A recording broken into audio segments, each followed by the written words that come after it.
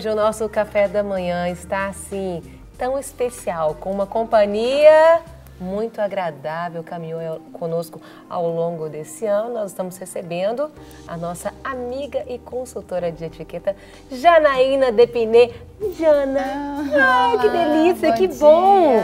Tivemos você aqui ao longo desse ano a gente não podia é, fechar o ano. Feliz que eu vim parar na mesa de Natal. Não, na mesa de Natal. Eu que delícia. essa mesa, então hoje eu tô. Você chega num dia especial. Eu tô achando que depois você só vai querer vir na mesa na parte ah, do café da manhã. Eu vou sempre ficar aqui, vou expulsar o Cássio da mesa do café. Ao invés de café com notícias, café com etiqueta. Não, e ela está hoje aqui à mesa conosco. Ela vai compartilhar sobre a importância de reuniões em família nesse dia de Natal, o significado da mesa, a importância importância do servir. Não é, é isso mesmo, Jana? Isso mesmo. Eu estou é... até lendo um livro da Dev Tires que fala sobre a experiência a... da mesa. Isso. Esse livro é fantástico. Maravilhoso.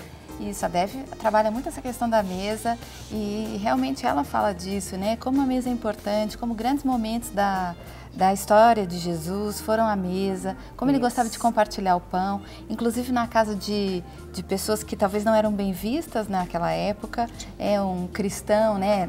Ele, ele estar ali àquela mesa é, não era bem visto e ele fazia isso porque ele sabia que a mesa é um local de cura, de, de reconciliação. pessoas, não é, Jana? Exatamente. O compartilhar o pão, ele é isso, né? E tanto que a Santa Ceia é a mesa e ele faz questão desse ritual.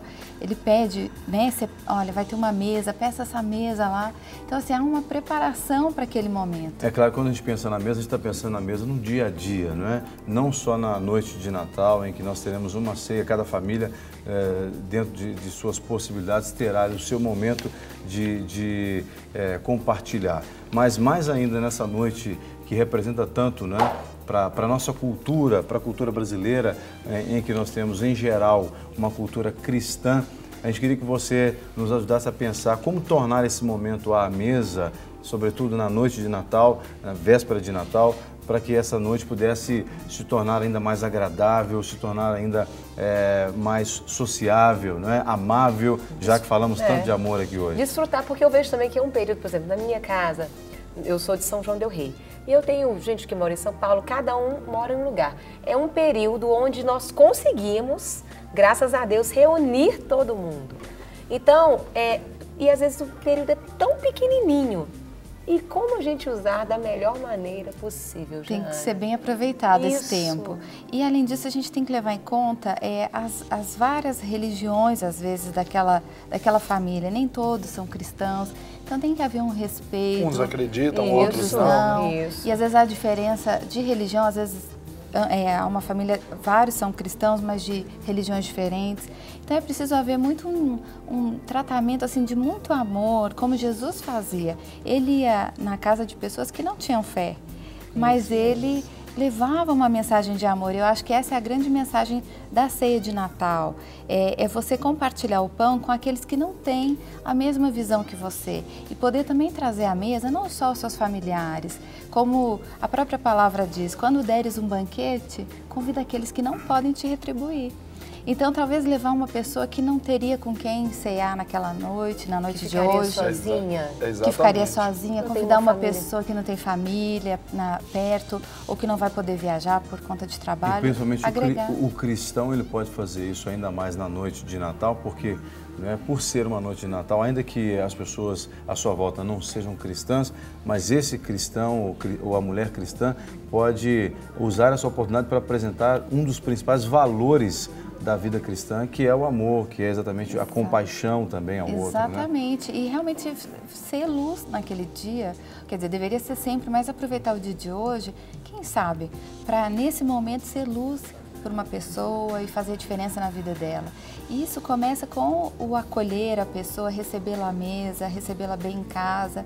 Então, eu acho que as dicas que a gente vai dar hoje assim, são muito voltadas para quem vai oferecer uma ceia. Certo. É... Então vamos falar sobre a preparação, no caso? Podemos isso, começar falando vamos. sobre é, E até um detalhe importante, quando a gente fala da ceia, né, especialmente quando nós temos ali a nossa fé cristã, falamos a respeito da ceia do Senhor, era um momento exatamente assim. Era um momento de ajunta pratos, onde era chamada festa ágape que quer dizer o amor do amor perfeito, não é verdade? Uhum. Exatamente para nivelar aqueles que tinham uma condição um pouco melhor com aqueles que não tinham alguma condição. Então era para nivelar. Por isso que o apóstolo Paulo ele fala a respeito exatamente disso. Puxa, vocês não estão fazendo as coisas como tem que ser. Vocês não estão tendo é, mérito nenhum nisso. Então vocês têm que se examinar, porque aqui o ritual que se faz é exatamente para trazer essa comunhão. É, é, esse nivelar, né, Janaína? É. é ali do amigo com amigo, Bom, independente dizer... da, da, classe social, da cultura, é porque somos todos iguais. Então, né? para começar, fica à vontade, pode tomar uma aguinha, viu, Jana? pode ficar bem à vontade. Ah, pode se fartar nessas fica, delícias a aqui. Farta, gente, vai ser difícil falar comendo, mas tentarei. Eu fico pensando também, hoje, Jana, às vezes as pessoas também se preocupam muito só com o externo, né? Nós estamos aqui sendo servidos pela Doce que Seja Doce, uma delícia! Esse panetone, Jesus não Está me livra disso. Extraordinário. que delícia! Ele é tá. com avelã dentro dele. Ai, maravilhoso. Pode dar até uma filmada aqui, gente. Filma por dentro desse panetone. Ele tem avelã, maravilhoso. Mas às vezes, mas tá isso é muito, muito gostoso. Bom. Não é, Jana? Essa, essa, esse alimento bom, mas isso não é tem que ter aquela base que a estrutura é o amor. Porque às vezes existem grandes banquetes onde a presença de Deus não está ali. Vazios, né? Isso. Você come, mas não se alimenta.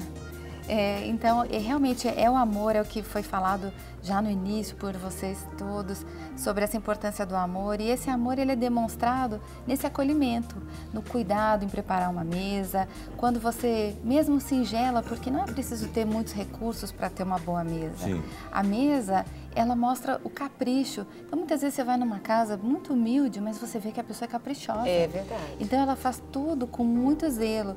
Outras vezes você vai numa casa que é muito sofisticada, muito é, bonita, quase de revista, mas não é uma casa convidativa, dá medo até de sentar no sofá. Então, é isso faz, não é aconchegante, né? isso é que faz a diferença. Os donos da casa. E no caso aqui, especialmente das mulheres que têm mais esse cuidado, mas isso não impede que os homens também façam, é, é preparar a mesa, é todo, todo cuidado com a preparação. É pensar as pessoas que você vai convidar, quem você vai acolher, tentar integrar, buscar sempre aquela conversa gostosa que enalteça o outro e não é, trazer aqueles temas polêmicos que vão gerar briga né, dentro da família. Todo mundo sabe que toda família tem seus problemas.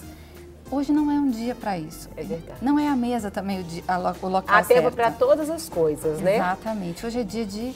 É, é festa de aniversário, né? A gente vai comemorar mesmo sabendo que provavelmente não é nessa data, mas hoje é a festa de aniversário. Então, o aniversariante tem que estar presente. É verdade. Isso é Nós estamos falando de Jesus, é claro. É, né? é claro, é. E você trouxe dicas práticas, Sim, práticas não é? Vamos isso. começar então pela primeira dica? Vamos. Porque eu acho que aí vai ilustrando muito mais, a gente vai aprendendo muito mais. Eu estou curiosíssima para poder colocar em prática. A primeira seria essa questão Prepare de preparar Prepare o seu lar. Então, veja que o ambiente aqui hoje, ele está decorado, ele é foi planejado é, para ser um, uma, uma manhã diferente é uma São manhã detalhes, de Natal. né? São detalhes, Já. é uma toalha, é um, um, arranjo na mesa. É mas o próprio, é, o próprio guardanapo. guardanapo.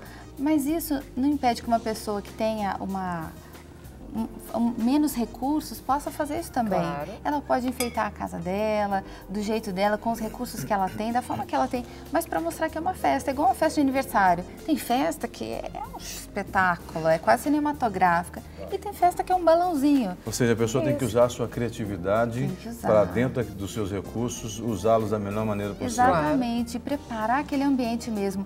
E a preparação envolve desde a oração, que tem que ser primordial, é começar a orar pela casa, pelas pessoas que vão chegar lá, que elas sejam é, realmente tocadas por esse Considerando amor. Considerando o aspecto família também, Janaína, vale também, por exemplo, o dono da casa, às vezes chamar um irmão mais próximo, um amigo mais próximo, para ajudar nessa preparação, faz parte desse momento? Sim, até para pensar na questão da ceia. Há famílias em que às vezes uma pessoa tem mais recursos financeiros e pode arcar com toda a ceia. Outras famílias não, é comum dividir Isso. o custo da ceia. Ah, então você traz o peru, é você traz o arroz, divide os ingredientes, isso não pesa para ninguém. Isso tem que ser combinado antes. E o anfitrião é que faz esse papel de ligar. Então, a pessoa que está cedendo a casa, que está acolhendo, ela sabe o perfil de cada um. Então eu sei que você não tem tempo para cozinhar. Certo. Então eu vou falar assim, ó, traz um sorvete que você compra pronto. Ah, Carol tem tempo, gosta de cozinhar. Carol, você faz o peru, faz uma coisa Faz uma caprichada. lasanha pra uma gente, lasanha. É. Já começou a dar pode fome, nós estamos no café, já, a gente já está falando de almoço, Falando de que hora que vai ceia. ser a ceia, né? Que vai ser a ceia, é meia-noite. Quer dizer, a pessoa, é, a preparação inclui também essa mobilização, Sim. a distribuição de É tarefas. a né? acessibilidade de perceber que um Isso. pode e o outro não, Porque né, às vezes Jana? vem uma pessoa de outra cidade, por exemplo, Carol é de São João Del Rei, vai ceiar aqui. Eu falo, Carol, você tá vindo de São João Del Rei? Traz o peru. Imagina a Carol no ônibus ou no carro com um peru balançando. Segura o peru. Então isso é falta de sensibilidade. Eu peço para ela trazer, traz um refrigerante. Pronto, mais fácil. Então, ter esse, É essa- esse tato, esse feeling para notar o que cada um pode ajudar e se pode. Às vezes você sabe que você tem um, um familiar que está numa situação difícil. Você evita pedir isso para ele, ou então pede uma coisa que não envolva recurso financeiro. Prepara um, um louvor para nós, você cuida do louvor. Ele não teve que, que, né, investir nenhum recurso, mas ele vai se sentir partícipe daquele momento. E outra coisa, até mesmo na preparação do lar, por exemplo, de dia arrumar a casa, ajudar nos enfeites, nós vimos ali aquela imagem tão bonita, né?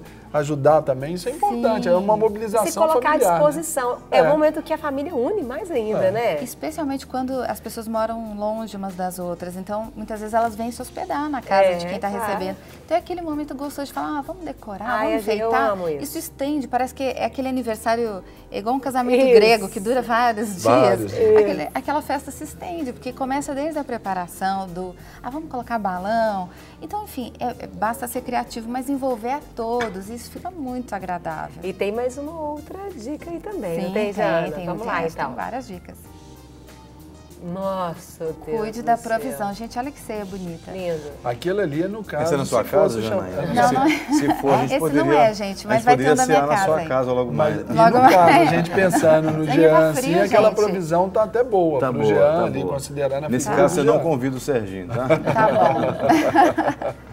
Bom, gente, a provisão, a gente lembra muito também da mulher virtuosa de Provérbios 31, que ela, ela como um navio mercante, ela vai buscar longe o seu pão. Falou, a gente tem preguiça de ir na padaria ali na esquina. Hum. A mulher virtuosa ia como um navio mercante. Pensa a distância desse pão, né? Buscar o pão. Com certeza. Ou seja, tem que ter um planejamento. E isso não é difícil. Hoje tem até site que ajuda você a calcular a quantidade de alimento para cada pessoa. Porque também é triste você fazer uma ceia E faltar e comida, faltar comida. E como sobrar até pode, porque todo mundo gosta daquele prato francês no dia seguinte, que é o Restaurante. restaurante. Ele é ótimo. é. Então, sobrar um pouquinho até pode, que você aproveita no dia seguinte. Mas faltar é muito ruim, porque aí fica todo verdade. mundo contando, nossa, só tem esse tanto de pão de queijo, dois para um, dois para outro. Então, uma mesa farta, porque é bem uma mesa assim, que simboliza bem esse amor que é super abundante. E para isso, basta fazer, ter esse cuidado com a provisão. Pensar. Aí é uma questão de planejamento. Planejamento. Agora, Até então, quer por- aquele cunhado seu que você não vê há mais de anos, né? Ele vem passar a ceia na sua casa ele quer Que já, comer- inclusive, hoje É. já chegou, já está É, só esperando e ele a quer ceia comer a coxa do peru, eu posso deixar ele comer a coxa do peru, então? Deve. Deve. Deve. É o me melhor para o outro, É. sempre. O melhor para o outro. Ouviu, né, Sérgio? Eu fico pensando até, Jana. Separa você ela lá pra fala. mim, viu? Sobre a, questão do planeja- sobre a questão do planejamento, muitas vezes, quando a gente não planeja, você acaba tendo um gasto, pode ser excessivo. Porque você deixou para a última hora e você vai ter que comprar naquele lugar que está aberto. E às vezes é um lugar Isso. mais caro. E às vezes você vai pagar um preço exorbitante por aquilo que poderia ter Você um falou algo muito importante. Uma vez, alguns anos atrás, um ano atrás, nesta ocasião eu falei isso. Eu espero que alguém tenha assistido e tenha levado isso a sério. Eu falei, por exemplo, presente de Natal é algo que você compra em novembro. Isso mesmo. Ou até antes. O meu eu comprei em novembro. É novembro, porque senão a pessoa chega no Natal, ela vai pagar mais, não vai, ser, não vai ter sabedoria, porque vai gastar mais, vai ficar estressada, porque é aquela loucura de, você vê todo ano as matérias em shoppings, aquele, é, aquele Lotado. lotado de gente comprando.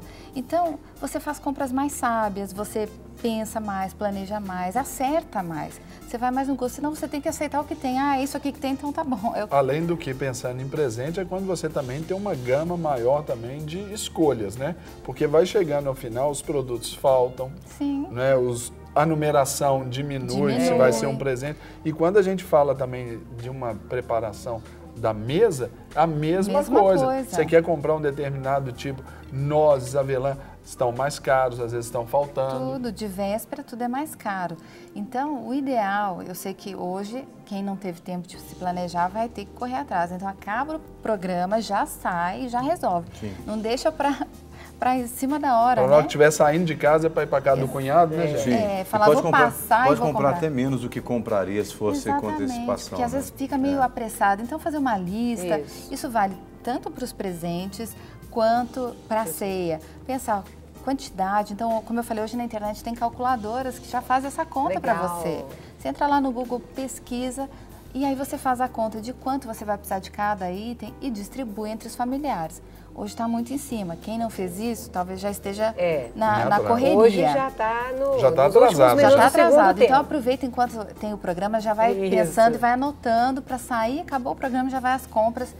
Para ter um pouquinho mais de tranquilidade, para realmente poder receber as pessoas. Senão a pessoa fica afobada. Já foi na casa de alguém que a pessoa não te recebe, ela fica, só um minutinho. Não, só um e o minutinho." pior de tudo, algo, algo também que é deselegante, né? Uhum. É, por exemplo, estar lá no meio assim de um evento, sai alguém ou alguns da, daquele, daquela Pra reunião para ir comprar alguma coisa para tentar suprir, suprir É. o que faltou. Olha, faltou a batata palha do salpicão. Você já viu isso? Sempre a batata palha Ah, falta tem que ir lá buscar mais refrigerante porque acabou. Trouxeram o Serginho, tomou muita, muito refrigerante e aí.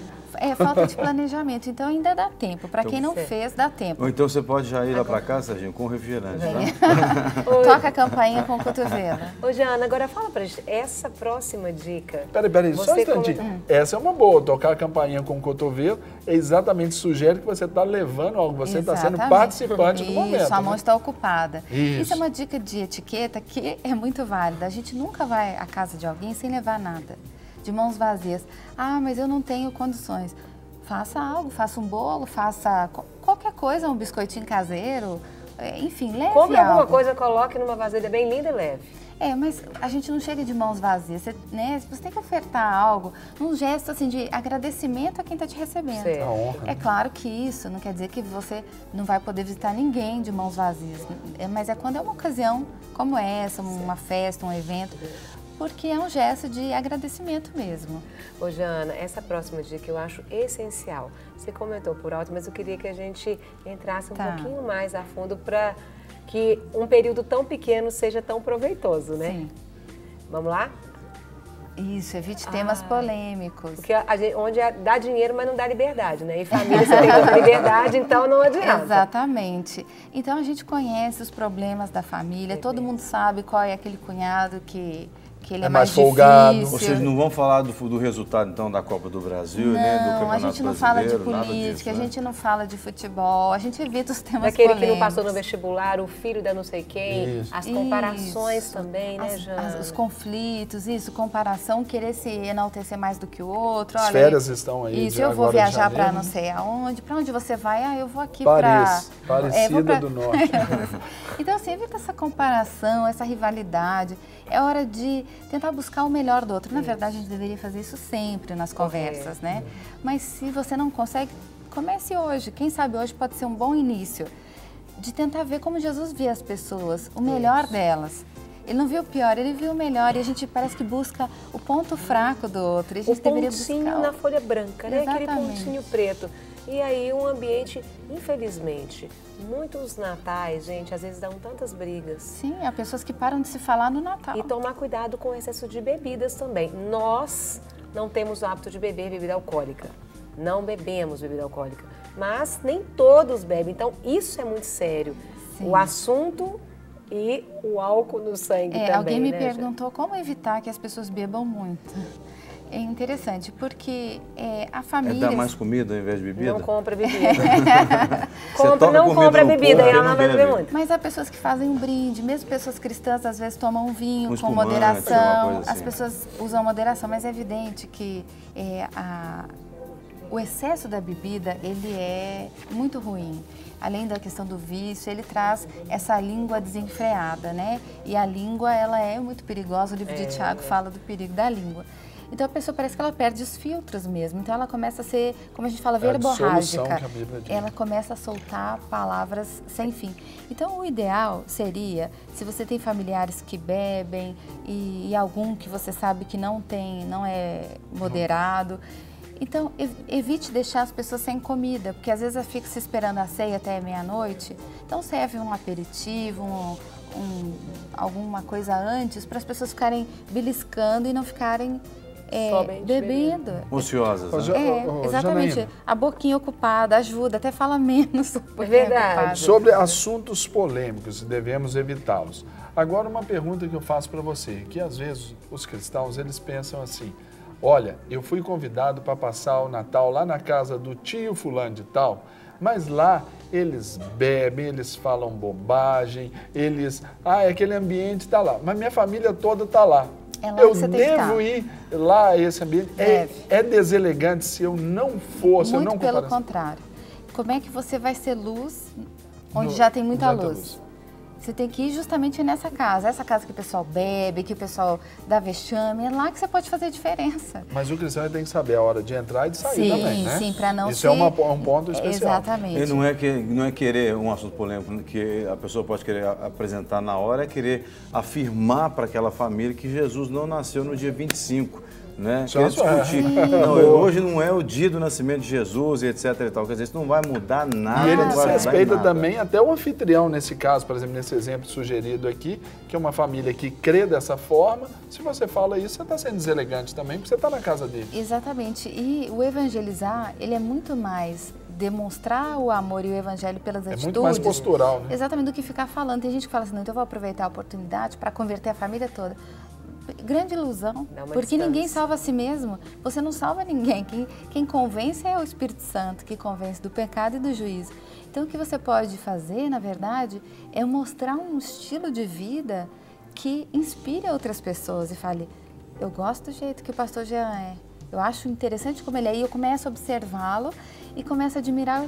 Mas vem cá, por que, que você é assim? E a pessoa começa a te perguntar e de repente ela é convencida. É, eu, eu já vi casos, por exemplo, que a pessoa era, era cristã e de família não cristã e todos os natais eles se reuniam e inicialmente as pessoas tinham suas práticas ali na hora da ceia, algumas rezavam, outras não, oravam e depois de um determinado momento de observação, o cristão todo Natal foi convidado para trazer uma palavra de Deus. Então todo mundo nos natais seguintes parava para dar palavra, para ouvir a palavra que, Que aquele crente, aquele cristão, o servo de Deus traria ali sobre o Natal, né? E obviamente se o crente ele é antenado, se ele está ligado na- no Espírito Santo, ele vai saber exatamente o que falar na hora certa, sem ser inconveniente, né? Sem gerar polêmica, sem tocar em questões religiosas, que sempre é aquela questão que você citou anteriormente, Ampassan,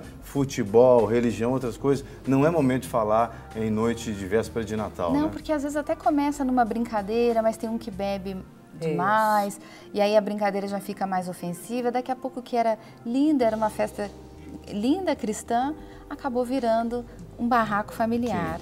Isso que você deu exemplo, pastor Jean, é perfeito, porque a pessoa que é sal, ela faz isso, né? Que ela é sal, ela tempera aquele evento. Ela dá um gostinho, as pessoas ficam esperando, será que fulano está chegando? Ele tá... Sim. Parece que ele faz a diferença e ele faz mesmo, se ele sabe usar o dom que Deus dá a ele. E aí, o que, que acontece com o sal? Se ele salga demais, ele dá sede, né? Então você precisa de mais água. Então ele vai dando essa, essa sede. Então eu quero mais, eu quero mais. É isso que acontece. A pessoa que, que ela tempera aquela ceia, ela também ela cria esse desejo de mais presença. Porque a pessoa vai ver Deus ali na vida daquela outra. Então é, eu acho que basicamente é isso.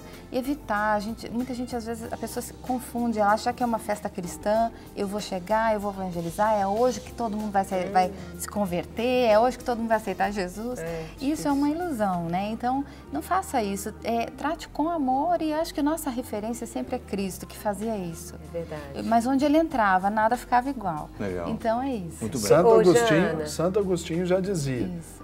Pregue em todo lugar, se necessário, use, Use palavras. palavras. Jana, fala pra gente essa próxima dica, que é muito importante sobre criatividade. Tem várias maneiras. Sim, é importante ser criativo. Nessa ilustração aí, inclusive, mostra uma dica muito legal, aproveitando que tem a imagem no ar.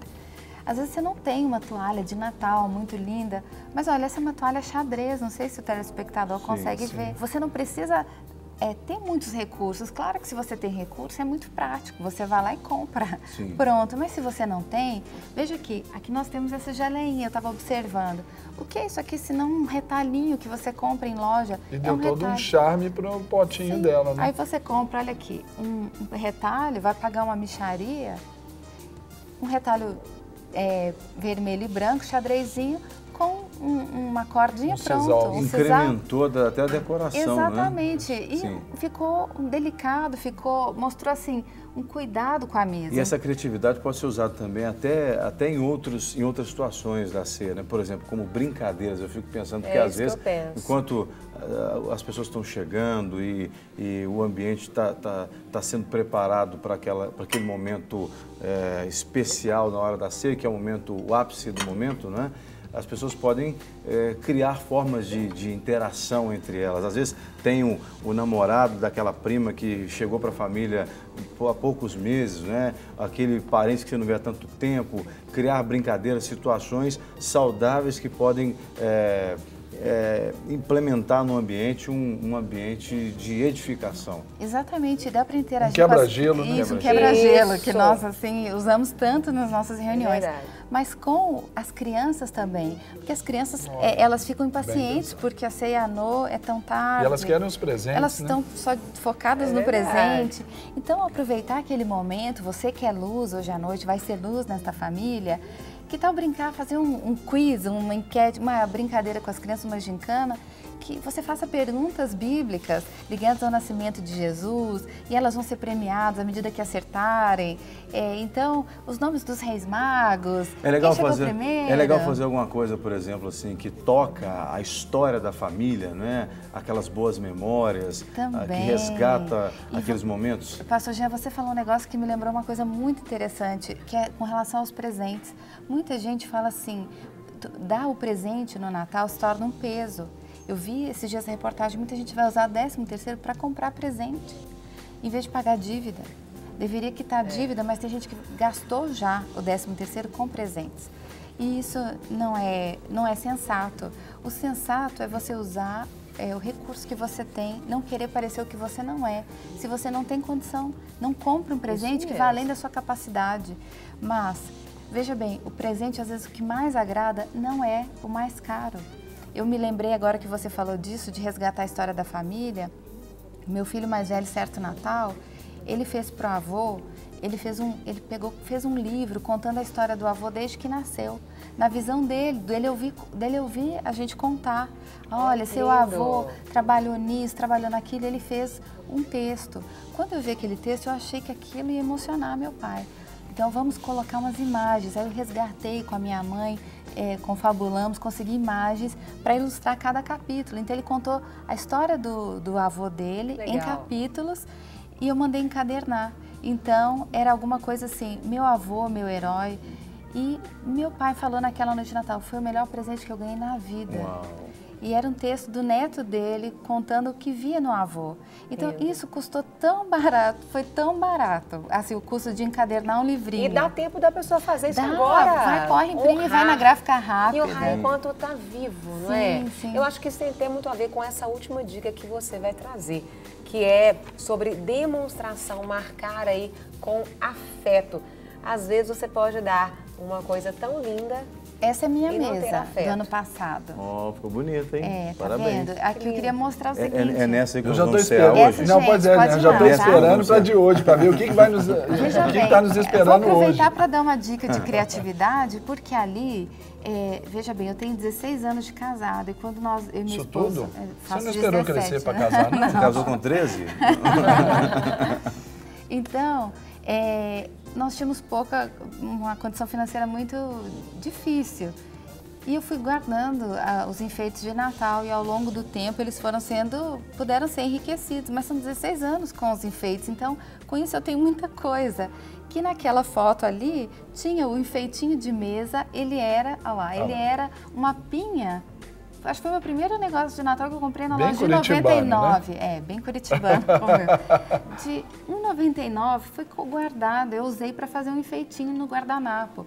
E a marca de amor que eu ia dizer tá ali do ladinho, aquele, Aquele parece um canudinho é, gigante. Isso. O que eu fiz nessa ceia, para cada pessoa da mesa, eu fiz um texto falando por que aquela pessoa era importante na minha lindo. vida. Então a pessoa não só ia sentar à mesa, ela ia receber um, um carinho, né? Um- uma demonstração de afeto. Então deixar uma marca Legal. de amor, eu acho que faz toda a diferença. Senão você se ocupa com a comida, mas tem a comida espiritual, o alimento espiritual. Esse é o que não passa, né? Esse é o que fica, deixa uma marca mesmo de afeto. E essa data é para isso, para a gente realmente deixar um, um sinal, um lembrete, olha, você é importante Janaína, talvez a gente tenha alguém que esteja nos assistindo que diga assim, mas eu não sou como a Janaína, né? A Janaína é toda meiga, toda carinhosa, cheia de detalhes e tal. Eu não sou assim. Mas ninguém precisa ser igual a você, mas pode mostrar para o convidado, para quem vai passar essa noite com ele, que tal pessoa é importante, né? Não importa se vai ser uma mensagem exclusiva ali num papelzinho, se vai ser um lugar especial na mesa, mas que essa pessoa é importante para quem vai dividir essa noite de Natal com ela, né? Eu sei que há muitas pessoas que estão solitárias hoje e que e estão pensando assim: eu fiz tanto por tanta gente e hoje ninguém me convidou para cear com elas. É, a pessoa pode ligar para alguém, ela pode realmente, é, talvez pedir perdão por algo que ela reconheça que errou ao longo da vida. E nós sabemos os nossos erros e o Senhor também nos convence dos nossos erros, nos alerta para alguns. Talvez seja a hora de aproveitar esse momento. Se a pessoa não tem essa, talvez essa, esse, essa delicadeza de fazer isso, mas ligar para pedir um perdão, porque começa tudo com o perdão, né? Se você tiver algo contra o seu irmão, não participe nem da ceia, vá primeiro lá pedir, não vá é, Isso doar, não vá ofertar, vá pedir perdão. então peça perdão, isso restaura uma família inteira, mas basta um querer fazer isso. Não fique esperando, muita gente está esperando alguém tomar iniciativa. E Salomão dizia, né, quando ele fala naquele momento de as duas mães falando que são mães Isso. daquele bebê, ele fala então, vamos partir o bebê. É verdade. Ele sabia que a mãe verdadeira ia preferir ficar sem inteiro. a criança do que matá-la. Então ela abre mão. Quando ela abre mão, ele sabe, você é que é a mãe. Ou seja, quem abre mão do seu orgulho, quem abre mão da sua preferência, quem abre mão de tudo para estar bem com o outro é quem ama mais. verdade. e quem ama mais está mais parecido com Cristo. Sim. Oh, que delícia. Jana, queremos te agradecer Bacana. demais. Que Eu café muito da manhã obrigada. gostoso. Já Muito abriu obrigada. o apetite. Que né? mensagem, né? Eu vejo que Deus não tem te usado somente para ser consultora de Amém. etiqueta, mas para levar a etiqueta de Cristo mesmo, os valores, os princípios Sim, de não houve homem mais elegante do que Cristo. Não, não. E você está sempre convidadíssima Não, a estar conosco.